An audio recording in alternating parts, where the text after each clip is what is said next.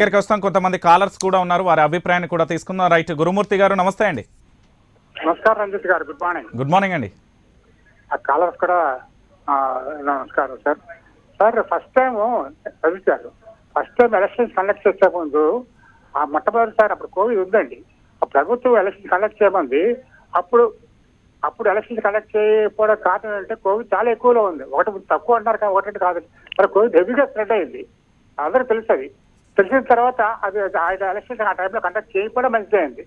Connect చేస్తుంటే మాత్రం జనం అక్కడి నుంచి ఇక్కడ పోయి కొన్ని వేల మంది ఇంకా ఉండేవారు.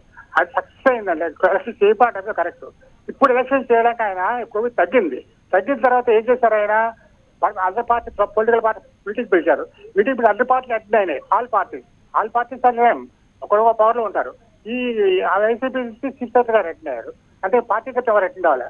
ఆయన ఎప్పుడైతే చీఫ్ గారు వాళ్ళు పార్టీ తరఫున వారి చీఫ్ అందరి పార్టీలతో డిస్కస్ చేసి ఎలక్షన్ డిక్లేర్ చేశారు నోటిఫై ఇచ్చారు నోటిఫికేషన్ చెప్తే వీళ్ళు ఏం చేస్తే కోర్టుకి అటెండ్ కోర్టు ఏం చేసి దాంతో ఇంటర్ఫేర్ కాలేవు అని చెప్పారు మరి ఇంటర్ఫేర్ కాలేదు కోర్టు అది చూసే చేస్తుంది కదా వల్ల ఒక అలాంటప్పుడు ప్రతిసారి ఆయన తప్ప ఎలక్షన్ తప్పంటే కరెక్ట్ కదా కోర్టు చూసే చేస్తుంది ఉత్తమైన కోర్టు ప్రతిదీ స్టే ఇవ్వదు కదండి. ఆ కోర్టు ఏమైతే ఎలక్షన్ కండక్ట్ చేయమంది ఎలక్షన్ కండక్ట్ వీళ్ళు కండక్ట్ చేయకుండా మళ్ళీ దాని మీద రివ్యూ పిటిషన్ చేయడం అది ఒక అంటే గురుమూర్తి గారు ఒక్క మాట ఇక్కడ మీరు ప్రభుత్వం వాదనతో ఏకీభవిస్తున్నారా? లేకపోతే కోర్టు ఎస్ఈసి నిర్ణయాన్ని ఏకీభవిస్తున్నారా? ఏది కరెక్ట్ అంటున్నారు? కోర్టు వాదన కోర్టు వాదన కరెక్ట్ అండి. ఓకే. కోర్టుకు వెళ్ళి కోర్టు వాదన కరెక్ట్ అండి. అది చెప్తున్నాను నేను. రైట్ రైట్ థ్యాంక్ యూ అండి. రైట్ మరో కాలర్ కూడా అందుబాటులో ఉన్నారు. సూర్యనారాయణ గారు నమస్తే అండి. ఆ, నమస్తే అండి. ఇప్పుడు ఆయన వైఎస్ఆర్సీపీ నాయకులు అన్నారు. అన్నం తిన ముందు మధ్య తింటా కూర తింటారు ఇస్తాట్లో వడ్డించిన ఇస్తాల్లో ఒక గ్లాస్ నీళ్ళు పడితే తీసి కొత్త ఇద్దరు ఇస్త్రీ వడ్డించుకొని తింటామండి.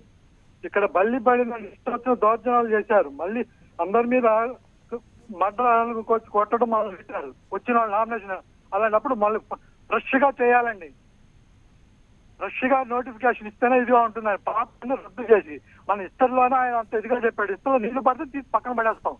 తీసి కొత్త మళ్ళీ ఒట్టించుకుంటాం. అలాగే మొత్తం రీ మళ్ళీ ఎలక్షన్ కట్టాలి. ఇలాగ ఐఏఎస్ ఒక్క నిమిషం ఒక్క నిమిషం. సూర్యనారాయణ గురుమూర్తి ఒక్క నిమిషం. శ్రీనివాస్ రెడ్డి గారు మీ దగ్గరికి మళ్ళీ వస్తా. రైట్. ప్లీజ్ సూర్యనారాయణ గారు. ఇప్పుడు అంత ఇది పోతున్నారు ఎందుకండి? ఒక కలెక్టర్ కలెక్టర్లు కూడా ఒక ఐఏఎస్ చదువుకున్న వ్యక్తి అండి ఆయన. ఆయన అంత నీతిపతినిత్యంగా మాట్లాడుతున్నారంటే అసలు ఐఆర్సీలు కూడా అందరికి సపోర్ట్ ఉండాలండి. ఆయనకి సపోర్ట్ లేకుండా ఏకాయకం చేస్తున్నారండి. ఒక కలెక్టర్ని పట్టుకొని ఒక అన్నత స్థాయి పదవిని పట్టుకొని అంత మాట ఇప్పుడు ముఖ్యమంత్రి పద్ధతి వీళ్ళు ఇష్టం మాట్లాడుతుంటారే. ఒక కలెక్టర్ కష్టపడి చదివినాడు ఆయన ఆయన. అలాంటి వ్యక్తిని దూషిస్తున్నారంటే వీళ్ళు ఏమనాలండి వీళ్ళని? రైట్ రైట్ థ్యాంక్ యూ అండి. రైట్ మరో కాలర్ కూడా అందుబాటులో ఉన్నారు. మచిలీపట్నం నుంచి శంకర్ గారు. శంకర్ గారు నమస్తే అండి. శంకర్ గారు. రైట్ శ్రీనివాస్ రెడ్డి గారు ప్లీజ్ కాలర్ల అభిప్రాయానికి సంబంధించి మీరు ఏ విధంగా ఏం చెప్తారు వాళ్ళకి సంబంధించి? సార్ దౌర్జన్యపూరితంగా ఎన్నికలు జరిగినాయి నామినేషన్లే వేయలేకపోయారన్నారు సార్. మరి ఇరవై వేల పైగా తెలుగుదేశం వాళ్ళు నామినేషన్లు ఎలా వేశారు? పద్నాలుగు వేలకు పైగా జనసేన వాళ్ళు నామినేషన్లు ఎలా వేశారు? ఎక్కడో ఒక చోట జరిగినటువంటి అవాంఛనీయ సంఘటనల్ని మొత్తం వ్యవస్థకే చుట్టడం గత ఎన్నికలతో పోల్చుకుంటే నిన్న జరిగినటువంటి మరి దౌర్జన్యాల విషయానికి వస్తే చాలా చాలా తక్కువ అనేది గణాంకాలు తీస్తే మీకు అర్థమవుతుందండి. ఏంటంటే మీడియా ఉంది కదా అనే భూతద్దంలో చూపించి ఒక వర్గం media. Right right. Srinivas Reddy గారు